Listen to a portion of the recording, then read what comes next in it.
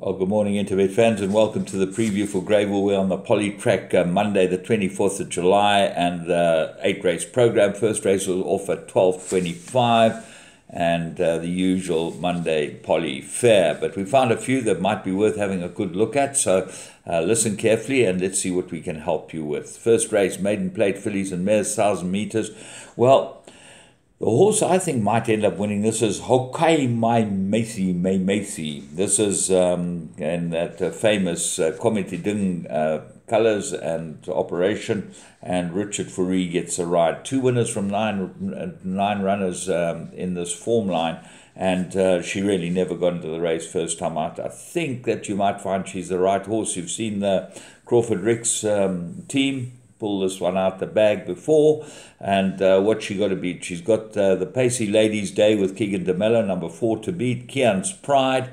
Uh, that's got to have a big chance because that ran in the same Kingdom of Gold race, and that's got a crawl one, so that will help. Keen on Kelly, not a bad loss. That was behind James Kavanagh. There have been a couple of come out of that form.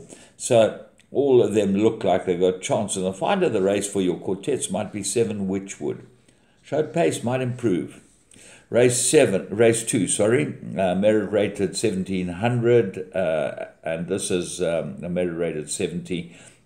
Really difficult race. I like Little Prince. I think it's the right one of the two Habib runners. I know Lutili won very nicely last, got an eight point penalty. But Little Prince looks like uh, the four year old is pretty handily weighted here, and he's absolutely ready. If he goes on the poly, he's got the right form. Uh, ignore Majestic Power's last start. Purple Ninja Tin- Turtle uh, won well uh, last time, uh, and there was a maiden. Thunder Masala looks like an improver, and obviously Lutili. Race three, maiden plate, 1700 meters. I made a three cornered contest. Eight Johnny the Thief, two very good runs, and I think this one will go in. Uh, gets Richard Fourie, big jockey plus. Uh, one medal of freedom, Keagan De Melo's mount, drawn one. This should be a good race. The two best jockeys around. And then um, uh, Tristan Godden gets a chance on Mr. Lincoln. I think this will be right there in the shake-up to much better distance for this horse. I think he's now strengthened up. I give him a chance in a race like this. Race eight, uh, race four. Sorry, I'm completely wrong as far as race is concerned. Race four, merit rated handicap, 2,000 meters, three corners as well. Bayview Express and National Dream uh, meet each other again, and at the weight turnaround, I think Bayview Express got a huge chance. Khumalo rode it last time, ran behind National Dream, and uh, National Dream got an eight point penalty for winning last time. That will put them very close, but the horse that might give them something to think about number one, Ingakara. Uh, Calvin gets a ride from draw one, looks good, got very good form, Ingakara, and certainly worth putting in. Race five, mirror rated handicap, 1,000 meters. Uh, Trafalgar Square is very hard to look past number five, the Dennis Bosch inmate, Uh, Keagan De Melo ridden at the last two, and the Calvin now gets a ride. Keagan De Melo uh, rides Manguina number nine. So have a close look at this one. I can't see anything in the form that makes it a winner.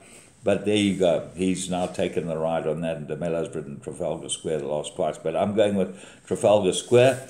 Eight, What a Tiger, the obvious danger from the Fabian Habib stable. He comes with a couple of good runners now, and um, uh, got to have a big chance. Race six, um, there's a mirror rated handicap 65 fillies and mares, 1200 meters and the most impossible race you've ever seen in your life. The favourites, two Poppy of Bayou, uh, got good form, but doesn't know how to get his head in front, and maybe this is the right race over the 1200, maybe that's a better distance, but limited. Kylie's Fate, ignore its last start, has got very good form before that, and um, uh, just might be the right horse of these ratings. Then there's horse like Blinded by the Lights, Fabian Habib's runner, come from a 98 down to a 50 uh, merit rating. Muzi gets to ride it. Wow, this has got form. The, you know, earlier on, this horse would put this whole field to bed. So that's got a chance. Blush of Dawn's got a chance. Number eight got some form. Give me a lullaby. Wouldn't leave that out. Number one might improve. And uh, three, Fort Chador uh, might improve with the cheek pieces, and all the others come into. it. So I'm putting in the whole lot.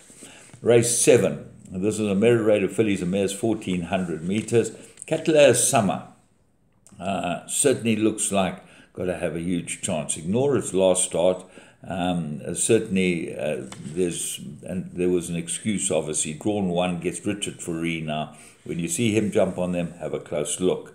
Certainly, he's got some form. Uh, efficient trader, number four. Three good runs, good form. Expect that to go well. Morgan Le Fay, she's got breathing problems, but she's course and distance suited. And Ice Star, the Fabian runner, won extremely well last time. Don't hugs and high fives. Garth Puller's runner, two good runs, looks like an improver as well. And then maybe even Mission Rocks off from draw 12. Race 8, Mary rated 73, 1400 meters, three corners. I like, I like Eddie the Mover strongly. I think he's absolutely ready and uh, there's a perfect race for him. So they could have a good day, the Yoga's Governor outfit. They've got Bayview Express uh, running earlier, and um, this one could go well here too. Winter Waves, obvious danger. I'm sure this horse needs a set of blinkers. A set of half cups might make him do the job better.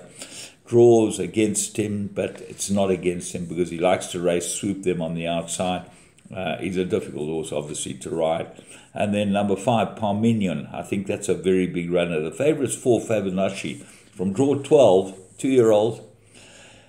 Going to be very, very difficult. I know he's got a big um, wrap around him, but uh, this is not going to be easy for him. So, from me, James Goodman, and the whole Interbet team, I uh, hope you had a great weekend, and uh, we will uh, be back with you tomorrow for the ball racing.